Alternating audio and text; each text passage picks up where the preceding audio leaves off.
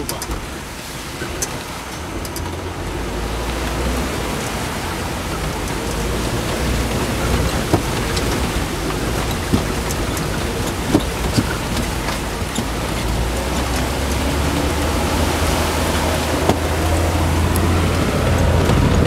Me tocó una penada de las 11 de la noche.